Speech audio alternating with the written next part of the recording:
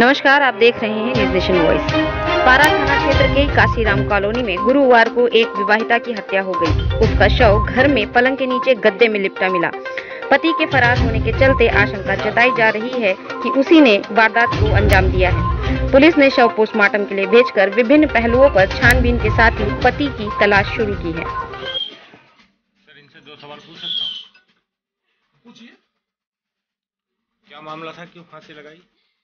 उनको हम नहीं जानते हम नीचे कपड़ा बसाने गए जिन्होंने फांसी लगाई वो कौन है आप? आपका नाम क्या है? मेरा नाम अर्चना जैसा। जिन्होंने फांसी लगाई इनका नाम क्या था? जारा खान। जारा खान? जी। लेडीज़ हैं? जी। इनकी उम्र लगभग कितनी है? सर उम्र तो नहीं बता सकते। बच्चे इनके कितने थे? एक ही थी बिटिया है सारा। इनके पति का नाम क्या है? यासिम खान। यासीन खान वो इस समय कहाँ है? अब सर आए तो हम लोग जब पता चला कि जब वो रो रहे थे उनके भाई जब आए तो, तो कहने लगे हमने थे नहीं। जब आए तो हमने कहा क्या हुआ? हमने खुद फ़ोन किया हम कहे कि कहाँ पे हो? तुम आओ सारा की मम्मी आए कहाँ पे?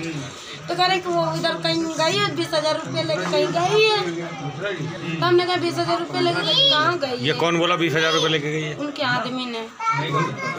उनका यासीन खान वो बोले कि बीस हज़ार रुपये लेके गई है। और उसके बाद फिर?